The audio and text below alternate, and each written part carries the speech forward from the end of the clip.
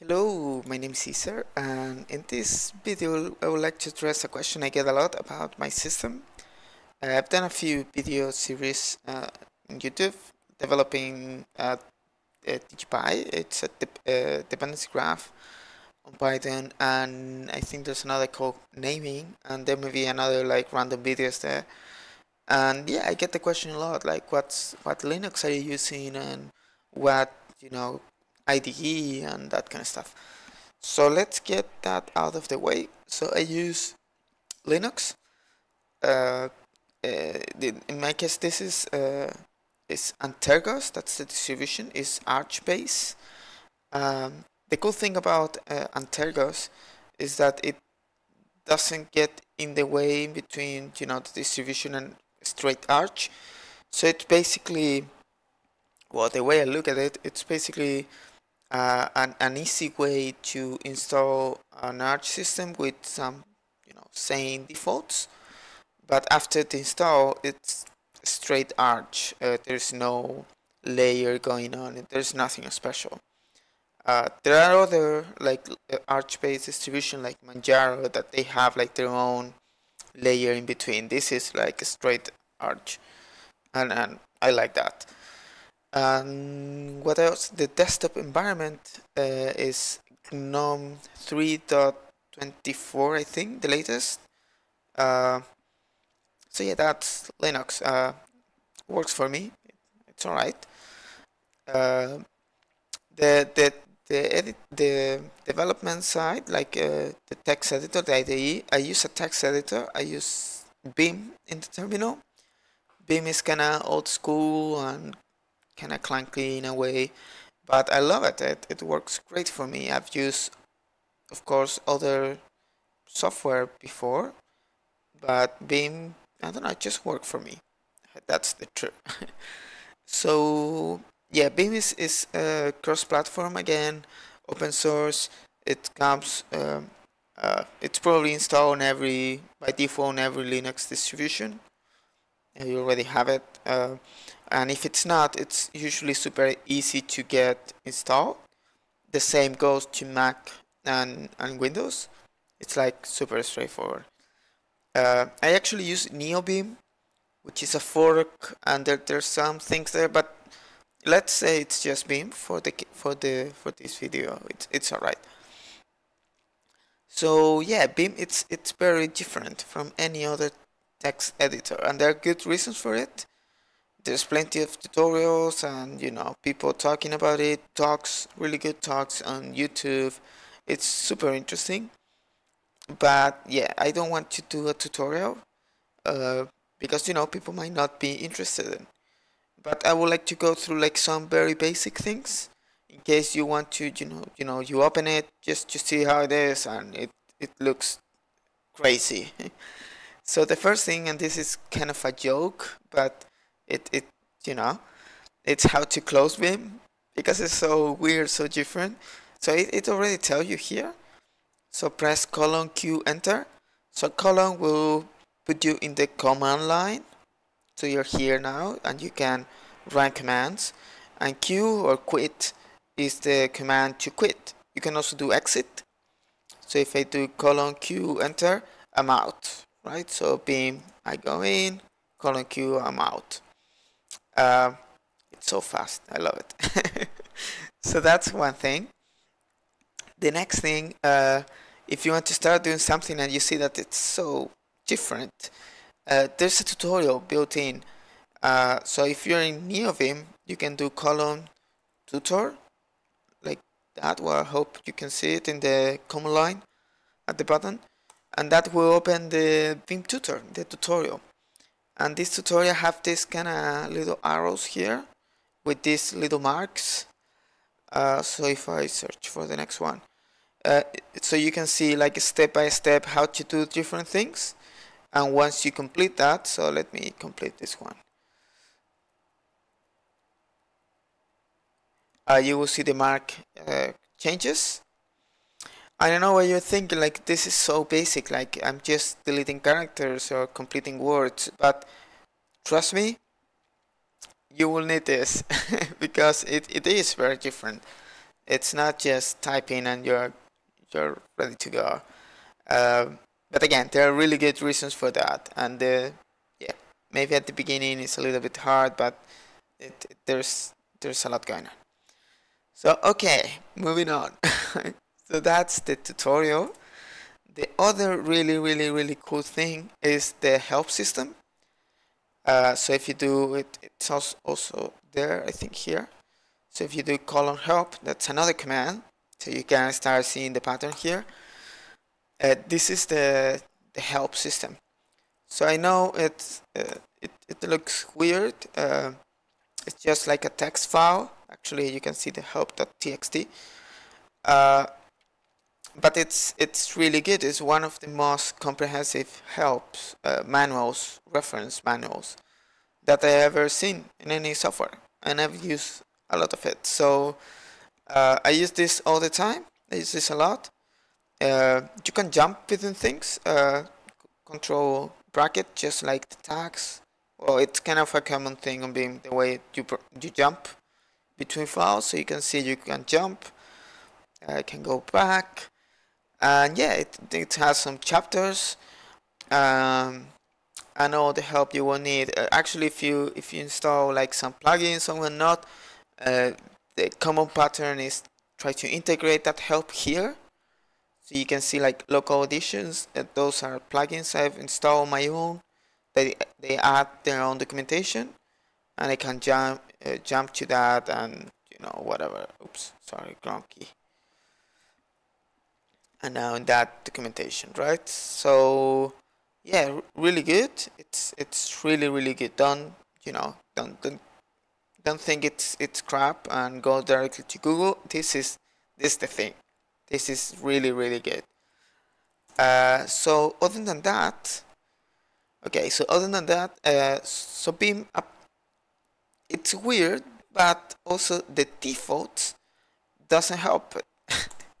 They're kind of ugly. Not as much on NeoVim, but straight Vim, they are they are ugly. So I think I can uh, I think I can open Vim without any user like that. Yeah, so this is this is the default for NeoVim, which is alright, but it's still not great for development. Maybe it's it's okay to you know open one file, edit one line, and that's it. Uh, so, uh, how to configure this? Because fortunately, uh, you can do a lot in the configuration. So as many Linuxy software, there's a dot file for it, like some file, some text file in your system that hold this configuration. In the case of NeoVim is, well, I'm in my home directory. So it's, uh, if I open the file in .config and NeoVim, and then init, that's the config. It's an, uh, a startup script. It's basically a Vim script and here it specifies like a bunch of commands that I can actually run those commands in the command line so we'll start from top to bottom running all this stuff and well at the end you know it gives you the control back to you and you can start using it so you can see things like I don't know first block here is a plugin manager so you there are many alternatives I like this one it's called plugged uh, so it has a few features. Well, look for it. I think it's great. Uh, so I can specify like GitHub repos here and it will do the update or clone the repo, put everything in the right place, even build the thing if it's, you know, compile and whatnot. It also loads plugins uh, lazily, so you you don't need to load everything. You know, if this is C++, will only be loaded when when I open a C++ file uh, Python, GL, Cell, whatever. And then I have all the commands uh, that configure those plugins and other like more miscellaneous things. So for example, syntax enable. So that's the syntax highlighting. Uh, I said my, the color scheme. I said, I don't know, I want to see numbers at the side, relative numbers, uh, no grab, a, a, bunch of things, right? So if you go to GitHub, for example, and you look for dot files, people used to share these things. So you will probably find a lot to to steal from, and and and you will be able to configure Vim to something more reasonable for you. The other good thing is the whole configuration is just one file, and all these plugins and all this stuff it's just cloning from GitHub or something. So if you need to move to a different machine or if you SSH a lot into different you know servers and whatnot, you need to move one file. so that's that's great about it. It's super portable. And all this work on cross-platform, so you can use the same thing mostly on different operating systems. It it's great. It's great.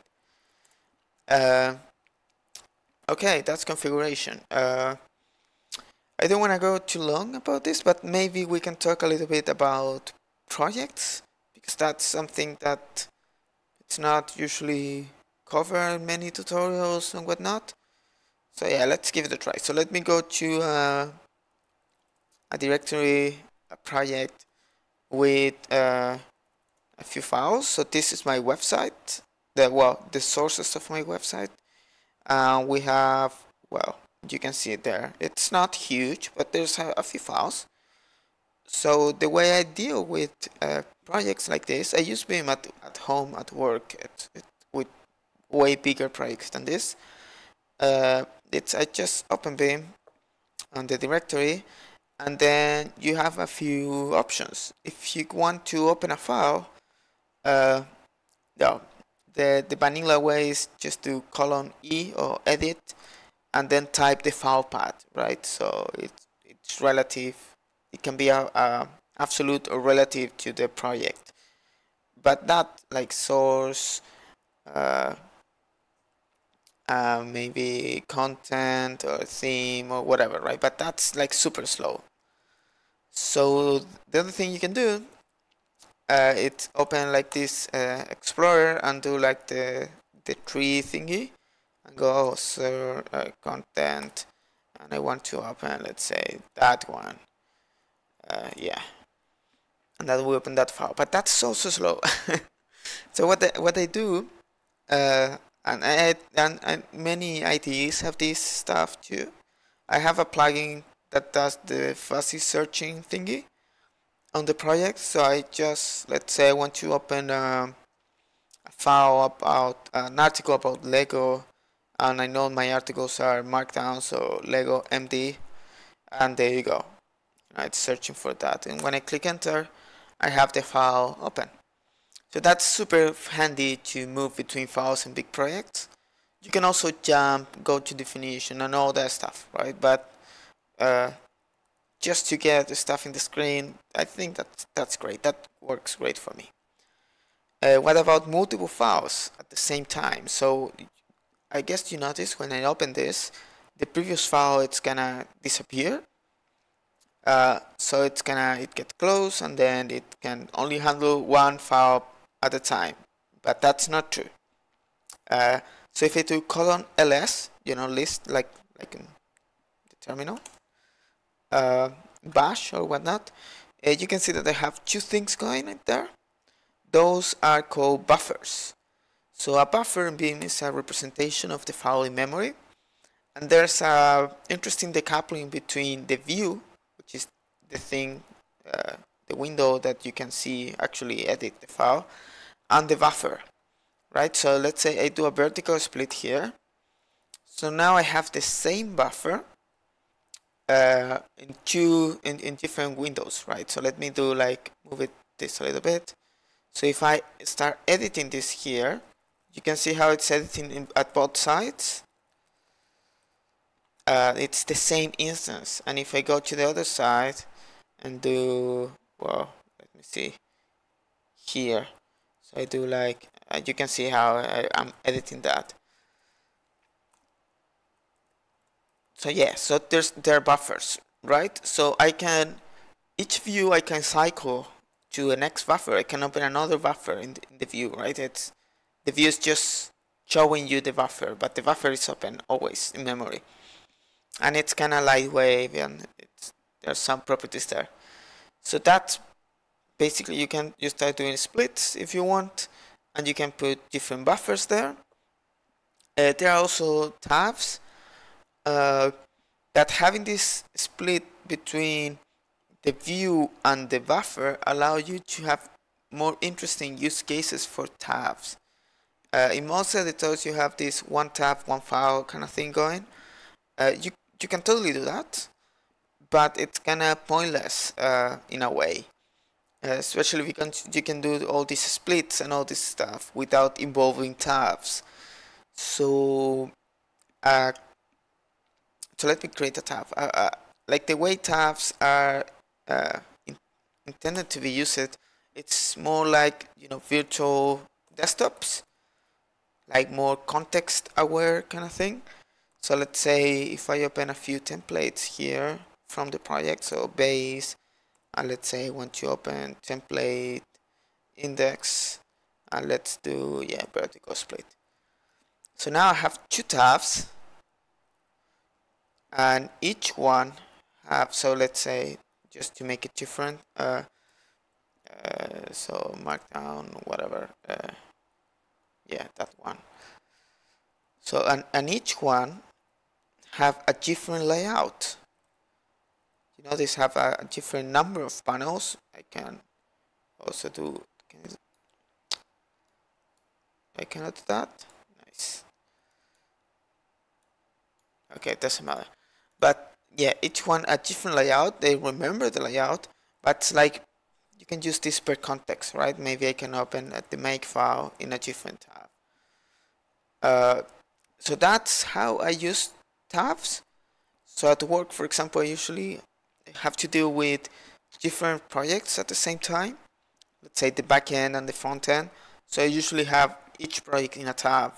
So when I do the fuzzy search, it may do the fuzzy search in different projects from different repositories and different things right? And it's very uh, easy to me to jump between them without, you know, no hassle. It's just there. Everything's there. Everything is super quick. It's in memory right there.